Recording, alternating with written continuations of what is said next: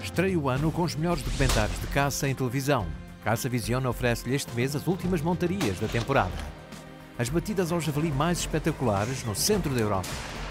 As aproximações ao muflão, os mais emocionantes corços e veados. As paisagens e a fauna mais deslumbrante do planeta. E se gosta de cães, desfruta este mês dos podengos em várias reportagens. No total, mais de 700 horas de caça até 31 de janeiro. Comece 2015 com o pé direito. Só tem de seguir o canal Caça Vision.